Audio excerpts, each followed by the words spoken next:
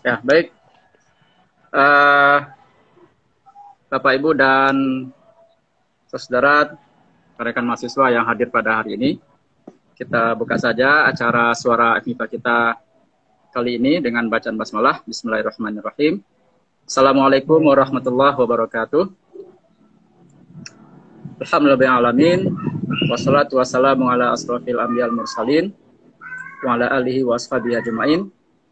Asyhadu an la ilaha illallah wahdahu la syarikalah wa asyhadu anna Muhammadan abduhu wa rasuluh la nabiyya ba'da. Alhamdulillah uh, selalu kita ucapkan puji syukur pada Allah SWT di bulan suci Ramadan ini kita masih dapat beraktivitas dengan baik melaksanakan ibadah puasa Ramadan. Meskipun dalam kondisi yang agak berbeda ya daripada tahun yang sebelumnya kita tetap di rumah dan mungkin sebagian kita tidak sholat tarawih atau sholat uh, berjamaah di masjid. Mudah-mudahan ini tidak mengurangi makna kita dalam uh, mengikuti atau me me melaksanakan ibadah uh, puasa Ramadan ini. Kemudian salam dan salam kita mohonkan kepada Allah dan dapat disampaikan kepada uh, Rasulullah Nabi Muhammad SAW. Allahumma salli Muhammad wa Muhammad. Baik Bapak Ibu uh, dan para peserta uh, yang hadir di Suara FMIPA kali ini. Uh, kali ini saya mendapat giliran ya sebagai moderator ditugaskan oleh fakultas untuk hari ini uh, gilirannya matematik ya untuk me, apa, mengangkat acara. Jadi mungkin kepada Pak Robi nih ya, Robi Muharsah kita sudah sejak ya, seminggu lalu hmm. melaksanakan kegiatan ini. Awalnya diisi oleh dosen-dosen setiap jurusan, ya. Oke. Okay. Kemudian dilanjutkan dengan uh, apa dari BEM. Kemudian sekarang uh, giliran alumni, ya, yang kita uh, minta perjurusan hmm. untuk mengisi acara di tiap harinya. Jadi ini sebuah terobosan yang cukup bagus nih dari Bu Dekan kita ya untuk bisa memperkenalkan juga nih ya FMIPA dan jurusan-jurusannya sekaligus juga memberikan uh, apa uh, pencerahan dan uh, menambah wawasan barangkali bagi bagi yang mendengarkan dari berbagai macam ini uh, jurusan. Gitu. Baik uh, Bapak Ibu dan saudara semua, jadi pembicara kita kali ini Uh, saya bacakan dulu sebentar ya uh, eh, CV-nya. Nama lengkapnya adalah Robi Muharsyah. Uh, lahir pada di Padang tanggal 26 September 84 ya. Jadi umurnya 36 tahun ya, Pak Robi ya. Ya. Di, dua tahun lebih muda daripada saya ya. Jadi masih muda lah kita ya. Masih. Aduh. Angkat, angkat golongan penata 3C, jabatan beliau di uh, sebagai peneliti muda ya bidang iklim di Badan Meteorologi dan Klimatologi dan Geofisika BMKG ya, di Jakarta. Alamat di Jalan Al Madi Al Madaniyah ya. Al Madaniyah 2 nomor 11 B Jati Cempaka Pondok Gede Kota Bekasi. Ya, bagi yang ingin mencatat nomor HP-nya silakan Bapak Ibu dan rekan-rekan uh, yang lain Nomor HP beliau 08128 2620 ya. Saya ulangi 08128 2620 Nah, beliau S1-nya di Matematika Unan angkatan 2002. Kemudian melanjutkan S2 di Sains Atmosfer ITB ya. Tahun 2017 pengalaman organisasi beliau, beliau pernah menjabat sebagai ketua uh, Himatika, ya, uh, Himpunan Mahasiswa Matematika Universitas Andalas pada tahun 2004 sampai 2005. Uh, meskipun aktif dalam organisasi, beliau juga sangat bagus sekali ya prestasi akademiknya, sehingga tidak salah, kalau tidak salah Pak Robi ini ya, mahasiswa berprestasi ya di FMIPA kan? Lupa, lupa bang. Hah? Lupa Pak Bang. Iya rasanya iya nah. tentunya ya, dari dari ya. dari apa dari uh, pengalaman organisasi dan akademik yang bagus ya, nah, masalah kita uh, apa uh, ikutkan dalam mahasiswa berprestasi itu itu ya. Ya, Masalah nomor satu kan di MIPA kan, Pak Robi ya? Ya, nomor tiga di UNAN. Ah, nomor tiga di UNAN, Alhamdulillah.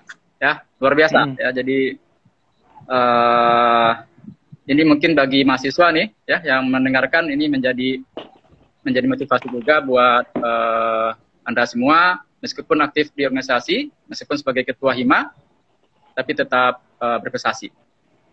Sekarang sudah berkeluarga, satu orang istri dan dua orang anak. Ini istri beliau juga dari matematik juga ya, alumni juga. Sama dengan saya juga. Tahuan ya. Tahuan ya, angkatan 2003. 2003. Tahun di bawah. Ya, jadi Pak Robi ini sudah banyak publish di berbagai macam uh, jurnal, baik nasional maupun internasional. Ya. Saya lihat ada belasan nih uh, untuk beliau uh, cukup aktif ya. Saya lihat penelitian tentang uh, apa tentang curah hujan ya, tentang analisis kekeringan dan sebagainya. Baik, tanpa memperpanjang mukadimah, kita minta saja langsung kepada Pak Robi Muharsah untuk menyampaikan pengantar diskusi kita ya. Uh, mungkin Baik. tentang karir, tentang pengalaman di mahasiswa atau mungkin juga sedikit tentang matematika tadi ya. Judul yang diangkat adalah matematika okay. di dalam bidang ilmu uh, kebumian. Ilmu kebumian. Nah. Hmm. Ya, silakan kita berikan waktu kepada. Ya, uh, baik, uh, terima kasih uh,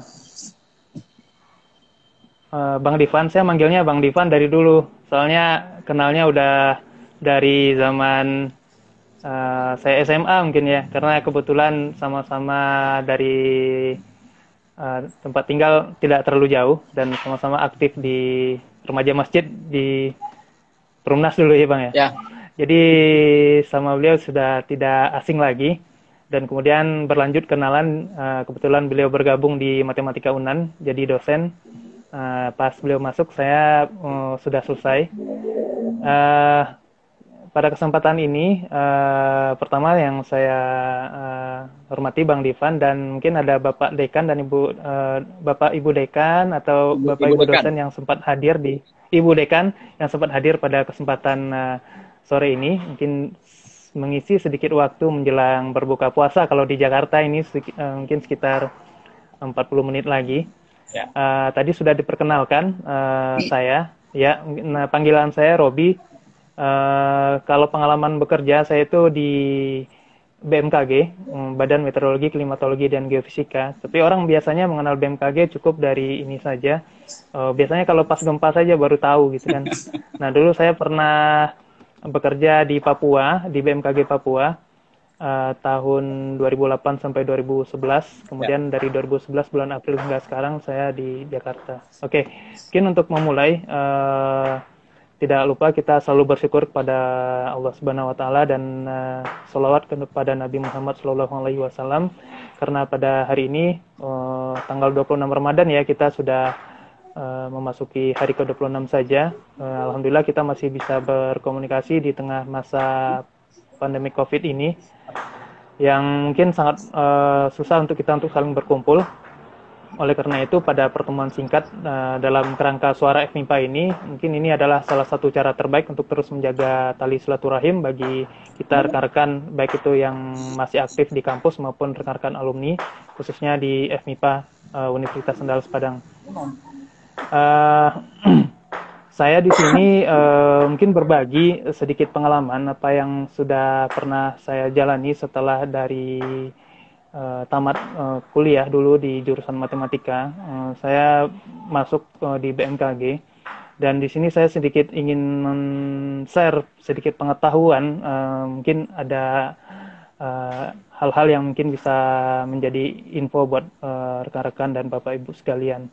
Di sini saya memberi topik uh, kepada Bang Divan mengenai uh, bagaimana matematika di dalam bidang ilmu kebumian. Karena setelah saya bekerja di sini ternyata aplikasi matematika itu sangat luas sekali. Uh, dibanding pertama saya hanya duduk dulu di kelas di kampus, yang saya sendiri juga bingung ini matematika maunya ke mana gitu. belum ada gambaran. Tapi setelah saya kuliah, uh, setelah saya bekerja di BMKG khususnya, ternyata apa yang saya pelajari banyak berkaitan dan bahkan hingga saat ini masih selalu bahkan hampir setiap hari selalu bersentuhan dengan apa yang saya pelajari di waktu uh, S1 dulu. Mungkin sedikit saya membagi tentang uh, ilmu kebumian itu sendiri apa. Jadi uh, kalau kita bicara ilmu kebumian itu ilmu yang mempelajari uh, bumi beserta lingkungannya, uh, termasuk uh, di luar angkasa sendiri. Nah, bidang ilmu ini sangat menarik dan mempunyai banyak penerapan, meskipun di Indonesia bidang ilmu ini tidak begitu populer. Uh, banyak ilmuwan-ilmuwan yang mempelajari uh, ilmu kebumian atau yang dikenal dengan earth science ini mempelajari uh, bagaimana sumber energi dan mineral yang ada di berbagai belahan bumi. Nah, uh, lebih kurang apa yang kami kerjakan di BMKG sendiri itu bagaimana mempelajari segala sesuatu yang berkaitan dengan proses-proses. Mungkin uh, rekan-rekan biasa mendapatkan info mengenai apa itu uh, mengenai tsunami dulu yang pernah heboh, misalkan gempa bumi, uh, kemudian bagaimana cuaca uh, di esok hari, di hari ini, dan seterusnya. Nah, itu adalah bagian dari lingkup pekerjaan yang kami lakukan di BMKG. Jadi sebenarnya kalau ilmu kebumian itu ada empat uh, cabangnya. Kalau misal uh, kita lihat uh, secara literatur resminya ada empat, setidaknya ada geologi, kemudian ada meteorologi, kemudian ada oceanografi dan ada astronomi. Nah, saya difokus di bidang meteorologi. Uh, namun saya tidak meteorologi juga secara umum. Saya ambil turunannya, turunan dari meteorologi yaitu klimatologi. Kebetulan kalau klimatologi lebih banyak unsur-unsur statistik dan matematik yang dimanfaatkan di bidang ilmu ini. Uh, mungkin kalau yang geologi itu teman-teman yang fokus kepada uh, termasuk yang ilmu kegempaan itu ada juga bagian dari salah satu departemen di BMKG juga termasuk juga oceanografi dan astronomi. Namun seingat saya di uh, Universitas Andar sendiri uh, empat cabang ilmu ini belum ada, sepertinya belum ada uh, disiplin ilmunya untuk diajarkan atau program studinya. Yang ada mungkin universitas yang fokus ke bidang-bidang ilmu seperti ini baru terbatas di misalkan kalau tidak salah di IPB, kemudian di ITB. Kemudian di BMKG sendiri ada khusus akademinya uh, yang khusus belajar untuk uh, sekolah tinggi meteorologi, klimatologi dan geofisika. Bagi ada yang mungkin uh, saudaranya atau adik-adiknya yang berminat untuk masuk di sana itu semacam sekolah kedinasan. Sekolah kedinasan selama empat tahun. Setelah tamat langsung jadi uh, PNS pegawai ya.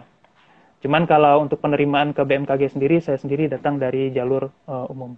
Nah, jadi kalau bidang meteorologi ini uh, sebenarnya meteorologi ini adalah disiplin ilmu yang sangat-sangat praktikal. Nah, tujuan utama dari semua orang yang bekerja di bidang ilmu ini adalah bagaimana memprediksi cuaca di waktu yang akan datang seakurat mungkin. Nah, uh, yang pasti apa pun yang dilakukan berusaha untuk membuat prediksi itu uh, seakurat mungkin dan itu salah satu hal yang cukup uh, sulit hingga saat ini untuk dicapai. Uh, berbeda dengan penerapan matematika di bidang ilmu lain. Kalau yang saya lihat, misalkan matematika itu banyak diterapkan di bidang keuangan misalnya. Uh, bagaimana memprediksi uh, harga saham dan sebagainya menggunakan data-data. Sama seperti itu juga yang kami lakukan di uh, uh, di BMKG, khususnya di uh, kedeputian uh, klimatologi kami juga memprediksi, tetapi sayangnya yang kami prediksi ini adalah variabel yang berasal dari alam. Variabel-variabel cuaca seperti curah hujan, temperatur, uh, dan sebagainya. Uh, ada angin. Nah, dan variabel atau parameter ini sangat sulit untuk diprediksi karena uh, variabilitasnya sangat besar. Berbeda dengan mungkin kalau data-data di indeks saham mungkin ya yang fluktuasinya tidak besar jadi sangat mudah untuk diprediksi. Nah inilah tantangannya salah satunya baga bagaimana matematika itu sangat uh, berperan penting di dalam keilmuan uh, meteorologi ini. Uh, salah satu aplikasi nyata di bidang pekerjaan kami di BMKG khususnya untuk bagian prediksi adalah uh, membuat prediksi cuaca numerik namanya prediksi cuaca numerik Uh, uh, numerical weather prediction itu uh, menggunakan sekumpulan formulasi matematika yang dikerjakan berdasarkan hukum-hukum fisika sehingga banyak persamaan-persamaan. Misalnya kalau yang saya pernah pelajari itu um, di dalam prediksi cuaca numerik itu kita harus menyelesaikan uh, seperti persamaan diferensial parsial, persamaan diferensial uh, biasa, kemudian uh, bilangan kompleks dan seterusnya. Dan itu uh, harus dicari solusinya uh, dengan menggunakan teknik komputasi yang cukup tinggi. Nah, sebagai gambaran informasi sebenarnya prediksi cuaca numerik di Indonesia sendiri pun bahkan belum sanggup membuatnya. Uh, karena sangat membutuhkan selain SDM yang handal, uh, kemudian membutuhkan komputasi yang besar. Kalau negara-negara maju, misalkan seperti Jepang atau negara-negara di Eropa, itu mereka sudah sanggup karena sudah mempunyai sumber daya seperti superkomputer. Di Indonesia sendiri, uh, selain BMKG yang bekerja di bidang ilmu kebumian ini, ada lembaga seperti LAPAN, Lembaga Antariksa Penerbangan Nasional, dan ada juga Eh, BPPT ya Badan Pengkajian Penerapan Teknologi. Jadi lembaga seperti LAPAN, BMKG dan BPPT ini punya irisan-irisan pekerjaan. Namun sayang sekali belum ada sinergi yang baik sehingga untuk membuat seperti prediksi cuaca numerik belum terwujud hingga saat sekarang ini. Namun itu tantangannya. Nah, apabila kita berbicara mengenai prediksi cuaca numerik ini, ini sangat uh, kental sekali uh, penerapan ilmu matematika di dalamnya. Jadi mungkin uh, secara ringkas saya bisa berikan gambaran bagaimana misalkan kalau rekan-rekan sekalian melihat di aplikasi handphonenya mungkin ada yang menginstal aplikasi prediksi ya. Hmm. Tapi biasanya pakai aplikasi luar ya. Uh, apa um, AccuWeather biasanya atau mungkin ada yang menginstal info BMKG mungkin uh, kalau ada yang menginstal uh, itu prediksi yang kami buat uh, uh, berasal dari uh, pengamatan yang kami lakukan di daratan dan di lautan. Uh, pengamatan di daratan itu kalau teman-teman sempat berkunjung ke kantor BMKG itu ada sebuah taman alat. Nah, nanti dari taman alat itu akan ada petugas yang mengukurnya setiap hari, mencatat berapa suhu jam 7, berapa suhu jam 12. Itu direkap dalam sebuah pencatatan uh, baik yang uh, digital ataupun yang manual. Nah, kemudian ada juga kami mencatat mengenai dari alat-alat otomatis yang bekerja secara otomatis Nah, dan juga ada kami mengumpulkan informasi dari radar yang belum dipunya Indonesia itu adalah satelit cuaca hingga saat ini belum punya. Uh, kalau satelit BRI untuk bank udah banyak ya. Nah, kalau satelit cuaca itu belum. Uh, kita masih mengandalkan satelit dari luar. Nah, uh, pengamatan-pengamatan ini kemudian dikumpulkan dan kemudian ada, akan ada petugas yang mengarsipkan ke database, kemudian akan ada petugas yang membuat model uh, mengerjakan pengolahan data, mengkisi, membuat quality control. Kemudian ada eh, akan ada petugas yang membuat model uh, model prediksi uh, cuaca, baik itu yang sederhana maupun yang uh, tingkatan yang cukup rumit. Tapi dalam konteks uh, belum bersifat secara komputasi yang besar. Nah, uh, di mana peran matematika? Peran matematika lebih banyak pada saat kita mengerjakan model-model tadi, baik itu model-model statistik ya, uh, maupun model-model matematika yang cukup kompleks. Kemudian setelah informasi prediksi itu kita buat, uh, kita sampaikan kepada masyarakat uh, melalui tadi bisa teman-teman akses melalui website dan sebagainya. Nah, kemudian nanti kita juga akan melakukan evaluasi. Pada saat evaluasi kita juga kembali membutuhkan kemampuan skill uh, matematika yang cukup baik. Bagaimana apakah model yang kita punya ini sudah akurat atau belum gitu. Nah itu yang kami lakukan terus uh, menerus. Uh, tantangan seperti prediksi cuaca numerik ini uh, hingga saat ini masih terus dicoba dilakukan. Uh, banyak lembaga-lembaga uh, yang menyediakan uh, prediksi cuaca numerik yang gratis, uh, tapi terkadang tidak cocok untuk wilayah Indonesia. Salah satunya adalah uh, wilayah Indonesia itu uh, variabilitas hujannya sangat uh, besar sekali khususnya misalnya di Sumatera Barat kalau kita bicara di Sumatera Barat itu sulit untuk menentukan kapan musim hujan dan kapan musim kemarau di Sumatera Barat itu. Hampir bisa dikatakan uh, setiap bulan itu selalu ada hujannya.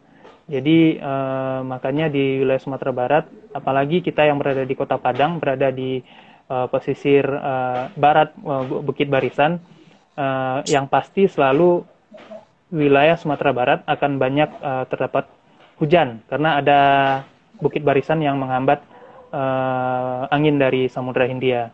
Uh, kalau kita lihat pola hujan misalkan di wilayah uh, Sumatera Barat itu secara umum, itu banyak sekali uh, curah hujan yang sangat tinggi sekali. Makanya uh, sebenarnya kalau kita pelajari uh, manfaat salah satu mempelajari uh, ilmu kebumian ini khususnya dalam hal klimatologi ini kita bisa sebenarnya mengetahui misalnya kita membangun rumah itu seperti apa sih harusnya di cuaca yang seperti ini gitu.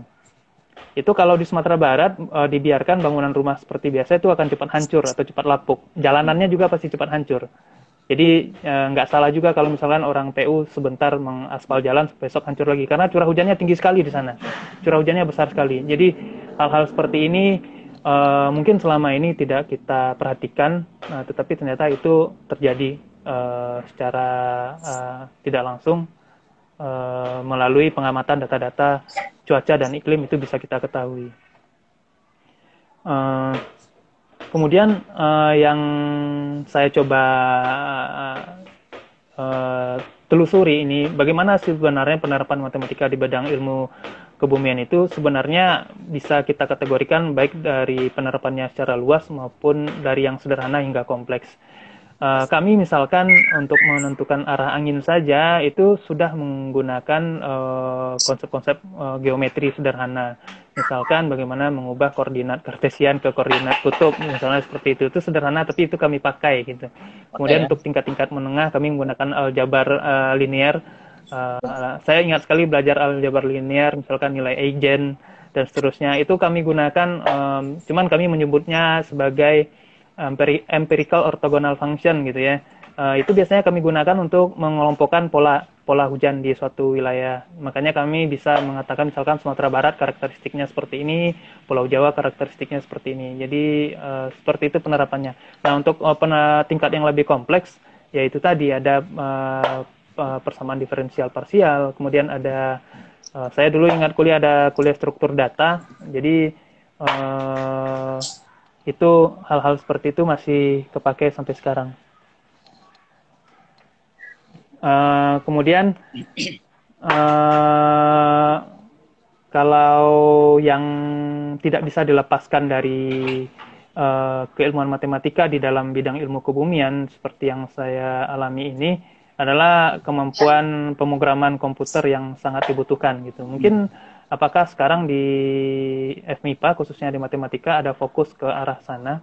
Itu ternyata sangat penting sekali dalam hal uh, uh, sebenarnya nggak hanya di bidang ilmu kebumian, di bidang mana pun ya, cuman di bidang ilmu kebumian karena data-data yang kami olah itu cukup besar.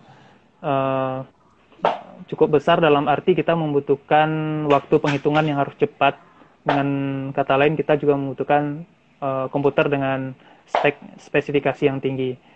Uh, misalkan di BMKG sendiri sudah banyak komputer-komputer yang kecepatannya melebihi 10.000 core gitu ya, tapi belum bisa dikatakan uh, sebagai sebuah superkomputer.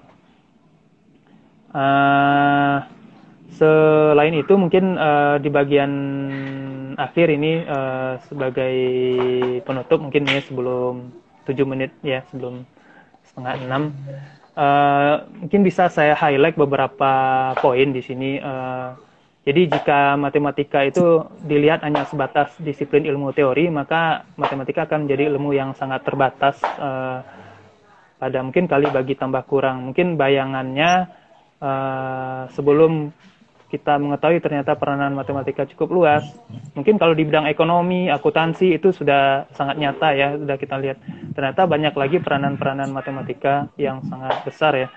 Uh, namun kenyataannya uh, aplikasi matematika khususnya di bidang ilmu kebumian uh, sangat penting bahkan menjadi bagian utama dari multidisiplin ilmu yang tergabung di dalam ilmu kebumian. Jadi ilmu kebumian ini adalah multidisiplin ilmu, ada fisika, bahkan ada kimia untuk yang mempelajari tentang kualitas udara. Tetapi semua disiplin ilmu itu yang menjadi tonggak besarnya adalah matematika sendiri. Uh, fisika juga banyak mengambil peran. Makanya salah satu dosen yang aktif di penelitian ilmu kebumian khususnya prediksi cuaca dan analisis cuaca itu Pak Marzuki ini baru yang di dosen fisika Iya, Pak Marzuki, saya mm, pernah tahun lalu ketemu dan sampai alhamdulillah sampai sekarang masih berkomunikasi dengan beliau. Uh, tapi uh, highlight saya yang berikutnya, uh, namun demikian hingga saat ini masih terdapat gap atau jurang yang besar antara praktisi dan akademisi. Yeah. Jadi sehingga solusi persoalan matematika dan ilmu kebumian cenderung dianggap pengetahuan yang berjalan sendiri-sendiri. Ya, khususnya di Indonesia. Sehingganya maka makanya kita tidak pernah mensolving permasalahan baik itu kalau yang saya beri contoh ini di ilmu kebumian itu tidak pernah tuntas penyelesaiannya karena masing-masing berjalan sendiri-sendiri. Termasuk juga yang lagi hot sekarang adalah tentang uh, COVID-19. Tentunya itu adalah praktisi di kesehatan dengan akademisi di matematika. Harus menemukan formulasi yang tepat untuk bagaimana mensinkronisasi dua bidang ilmu ini agar uh, bisa menyelesaikan persoalan tentunya agar bermanfaat buat masyarakat. Uh, mungkin itu saja, uh, Bang Divan, sedikit uh, uh, sharing dan berbagi informasi dari saya. Uh, terima kasih. Mungkin kalau ada yang kita bisa diskusikan ya. untuk di sisa waktu. Oke, terima kasih pada Pak Robi. Luar biasa sekali. Ya. Pertama untuk mahasiswa nih ya yang mendengarkan barangkali ini menjadi semacam pencerahan buat anda semua buat apa belajar matematik ya di di kuliah ya. banyak sekali mata-mata kuliah yang diajarkan apa gunanya nah inilah salah satu uh, apa bukti uh, contoh yang yang bisa di di share ke kita semua oleh Pak Rodi. Mm-hmm. Baik, mungkin ada yang bertanya, silakan Bapak Ibu uh, atau mm-hmm. mahasiswa, silakan.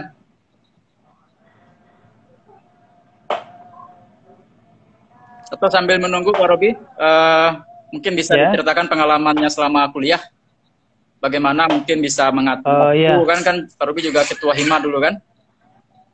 Oh iya, saya jadi ketua himpunan 2003, ya. eh 2004, 2005. Uh, dulu kalau saya ini uh, cukup dekat dengan Bapak Ibu dosen sebenarnya.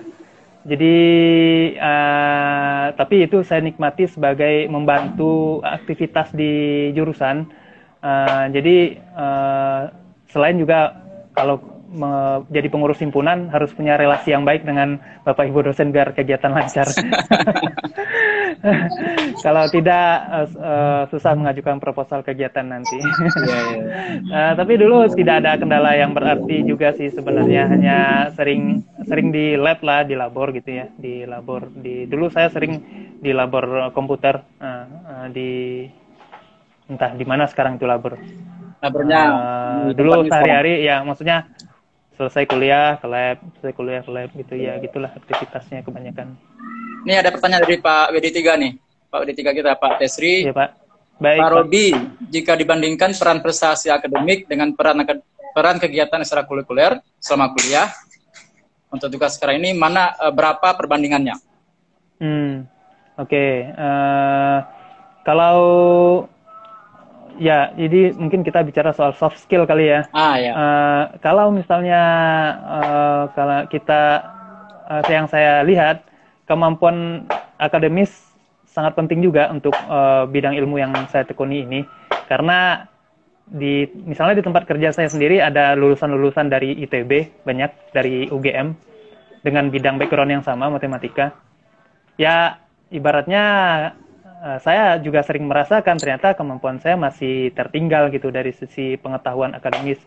Ternyata kok mereka tahu ini ya, mereka tahu itu ya gitu. Ternyata mungkin ini ternyata tidak diajarkan oleh dosen saya dulu gitu.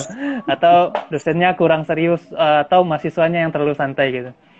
Uh, jadi uh, kalau dikatakan dua-duanya penting, saya bisa memberikan porsi 50-50% Pak untuk dua-duanya. Nah, kemampuan ekstrakurikuler itu dibutuhkan ketika kita untuk berinteraksi pastinya.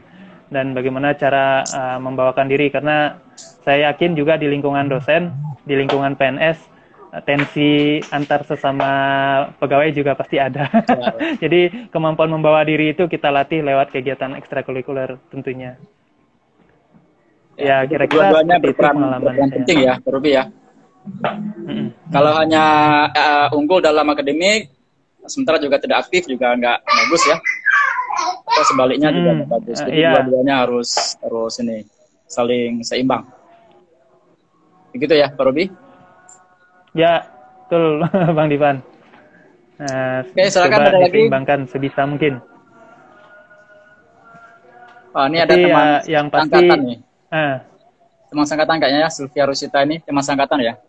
Oh iya. Halo ah, Kemarin itu teman-teman sempat share di grup angkatan dan juga di grup alumni untuk uh, kesempatan acara hari ini. Yeah, ya, ya sebenarnya banyak teman-teman matematika lain yang bisa saling berbagi informasi. Yeah. Ya. Uh, namun mungkin saya salah satu dari sudut pandang yang berbeda mungkin ya.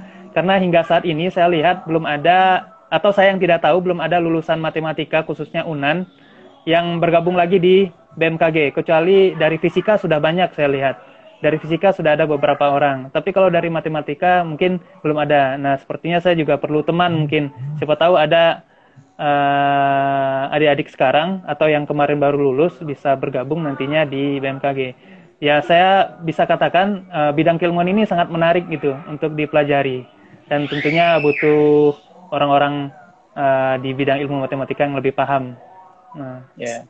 Oke, ini ada dari Bu Dekan sendiri nih yang bertanya Pak Robi. Ini sebenarnya pertanyaan dari saya nih harusnya nih. Iya. Bu Dekan ngambil. Apa saran Pak Robi untuk kemajuan jurusan matematika kita? Ya, gimana Robi? Uh, kalau tentunya karena saya sudah berubah jadi seorang praktisi Bu ya, uh, Bang Ivan ya.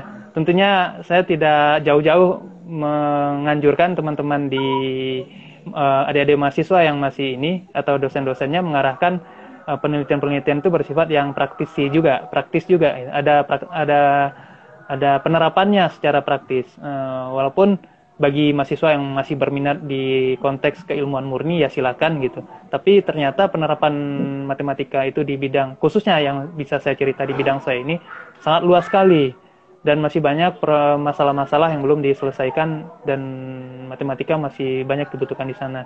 Misalkan contohnya uh, adalah dalam satu angkatan satu dua skripsinya yang mencoba merambah matematika ini ke keilmuan uh, bidang kebumian, misalkan prediksi cuaca atau mencari pemilihan model terbaik dalam menentukan prediksi curah hujan, penentuan awal musim. Uh, bahkan saya kemarin waktu ya pengalaman saya di S2 kemarin, seperti saya sering share sama Bang Divan, saya menggunakan teori Bayesian untuk prediksi curah hujan uh, memperbaiki prediksi curah hujan dengan teori Bayesian. Itu salah satunya yang masih melekat, yang masih saya terapkan. Ya mungkin begitu saran yang bisa saya berikan. Ya, jadi ini salah satu media juga nih, uh, Pak Robi, untuk bisa kita nanti bisa uh, wujudkan semacam kolaborasi ya, baik dalam bidang ya, riset uh, maupun nanti dalam bidang uh, apa bimbingan bimbingan ya, Uh, sebagai informasi, saya bisa sharing juga untuk misalkan teman-teman yang membutuhkan informasi terkait data, data-data. Kalau khawatir misalkan ini datanya kami dapat dari mana, silakan nanti bisa kontak ke hmm. saya. Kami punya segudang data yang mungkin bisa diolah untuk bisa uh, ya dipelajari lah uh, data-data tersebut. Dan distribusi datanya cukup panjang, jadi cukup menarik untuk diulik gitu. Oke. Okay. Oke, ini dari tinggal dicari ilmunya gitu. dari Pak Pak ini lagi nih, Pak Tesri lagi nih. Oh, ini karena Pak Tesrinya orang biologi nih, jadi mau menanyakan apakah ada tamatan biologi berkarir di BMKG? ah, saya kurang tahu infonya Pak ya kalau biologi. Uh, sepertinya uh, tidak ada ininya ya. Uh, kalau di KKP mungkin ada kali Pak di Kementerian Kelautan Perikanan tapi kalau di ah. BMKG nggak ada sepertinya. Cuman kalau jurusan kimia itu ada. Karena ada. di tempat kami di BMKG itu ada yang fokus kepada ke kimia lingkungan. Uh, khusus untuk mempelajari kualitas udara. Uh, bagaimana ya PM 2,5, PM 10 ya itu yang dikerjakan oleh teman-teman kimia. Yeah. Ya, ya. Kalau fisika banyak. Banyak Pak Marzuki aja kalau Pak fisika.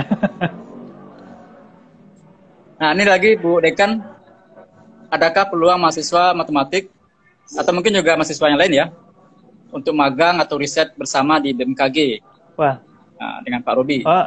Tadi udah dibilang tadi. Nah ya. itu sangat terbuka lebar, sangat terbuka lebar untuk magang. Nah, cuman kalau ke BMKG Jakarta, kalau ada bapak ibu dosen yang mau mengongkosi, ya alhamdulillah itu bisa sangat baik sekali.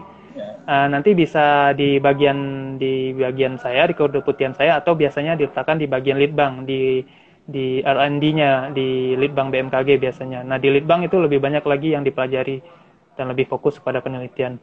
Nah, tapi kalau tidak mungkin ya di BMKG di Padang gitu ya. Nah, adanya di si Cincin kalau untuk oh ini, kemudian ada di Bandara BIM, kemudian ada di uh, Padang Panjang. Cuman kalau ada yang berkesempatan magang di uh, Jakarta itu lebih baik lagi.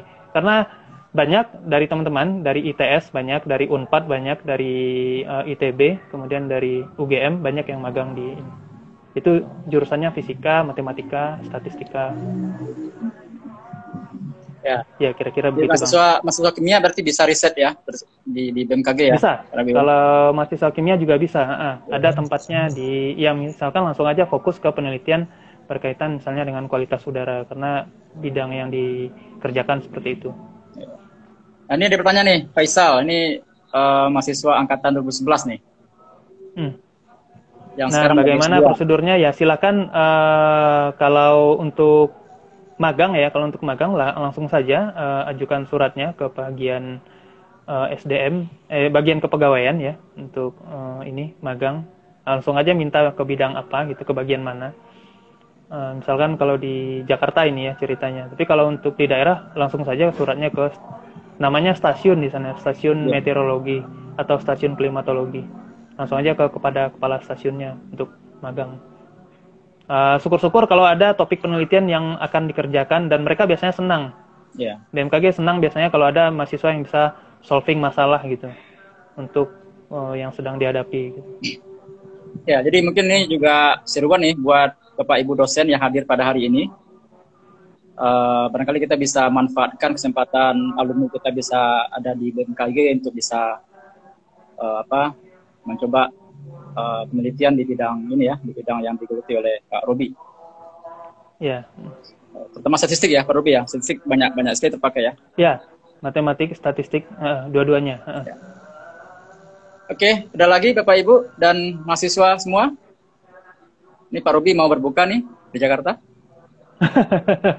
ya, masih belum. Masih 15 masih 15 menit lagi. Ya, mungkin Uh, kalau masih ada ini uh, yang bisa kita diskusikan, sebenarnya uh, yang saya tunggu-tunggu dari dulu seperti itu.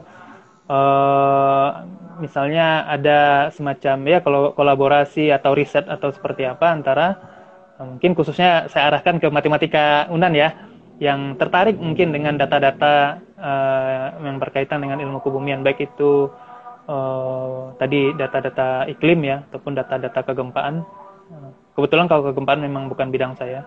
Uh, namun jika memang perlu dicarikan kontak mungkin bisa saya bantu. Ya. uh, ini ada lagi itu yang belum ketemu saya sama Faisal hmm. Hafiz ya? Ya untuk yang sekarang yang sedang fokus diteliti bagaimana di BMKG uh, di BMKG kalau untuk di BMKG sendiri uh, kalau di litbangnya untuk di BMKG untuk penelitiannya uh, tentang karhutla kebakaran hutan yang hmm. sedang banyak diteliti.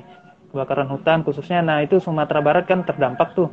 Nah bagaimana nah itu yang saya cerita ke Bang Divan bagaimana mencari hubungan antara dua perilaku uh, variabel antara hujan dan kebakaran hutan dan ada variabel lain itu kelembapan. Itu yang kemarin itu saya cerita tentang mengenai teori kopula bagaimana uh, mencari hubungannya uh, kemudian membuat prediksinya. Mungkin di sana bisa masuk biologi, nah. Jadi vegetasinya bisa di ini juga kan? Iya, uh, bisa. Uh, uh, ya. nah itu kemarin uh, yang lagi ini uh, dikerjakan. Kalau untuk kerjasama dengan Pemda, misalkan ada dengan Pemda DKI, itu yeah. Nah, itu sudah ada UNAN dan BMKG sudah ada MOU sejak 2015. Oh iya, iya. Jadi lebih lebih nah, mungkin mudah di bidangnya ya, Pak Marzuki kali ya. Mm -mm. Mm -mm. Ya, ya. Mungkin di bidang geofisika saya pikir udah lama ya karena saya lihat saya pernah ke kampus ke gedung C itu ada taman alat ada taman alat pengukuran gempa di sana. Mungkin untuk bidang geofisika sudah lama kali itu. Ya. Mm. Baik, ada lagi Bapak Ibu menjelang kita selesai nih mungkin sekitar empat menit lagi kita akhiri karena juga Pak Ruby juga harus berbuka di Jakarta. Iya. Ah, semua bidang ah, ya. Semua, semua bidang, bidang malah. Baik, terima kasih Pak Marzuki infonya. Berarti berarti uh, jurusan matematika unan harus nyari tahu lebih banyak ke Pak Marzuki. Iya. Saya tetanggaan jadi bisa bisa nih lah, bisa bisa cepatlah. Iya iya. Uh, dapat informasinya. Uh, uh. Baik, uh, kalau tidak ada barangkali mungkin bisa kasih closing statement Pak Robi, terutama untuk okay, mahasiswa uh, yang hadir supaya mereka bisa lebih semangat ya, motivasi untuk kuliah yeah. juga. Silakan. Uh, baik, uh, terima kasih kepada Bang Divan tentunya yang telah memoderatori acara ini, kepada Bapak Ibu dosen yang sempat hadir dan Ibu dekan tadi, Bapak PD3 ya. Pak Marzuki uh, juga nih PD1. Bergabung. Pak Marzuki PD1. uh, terima kasih Pak Marzuki sudah sempat juga hadir. Uh, dan kepada rekan-rekan mahasiswa yang bisa bergabung, uh, tetap semangat uh, dan mungkin uh, kuliah uh, untuk bisa lebih bermanfaat dan lebih terasa uh, mungkin lebih banyak uh, kalau berkutat di teori mungkin nanti lama-lama bosan coba beralih sedikit kepada dunia praktisi semoga ada gambaran baru mengenai penerapan bidang ilmunya masing-masing hmm. Ya mungkin itu saja uh, mohon maaf kalau ada yang salah selama penyampaian ini uh, ada yang kata-kata yang keliru uh, Ya selamat berbuka puasa. Mohon maaf lahir dan, dan batin untuk uh, sebentar lagi Lebaran. Ya, baik Bapak Ibu dan ya. rekan mahasiswa semua. Alhamdulillah luar biasa sekali kita bisa mendengarkan pemaparan dari salah seorang alumni kita, ya, Pak Robi Muharsah.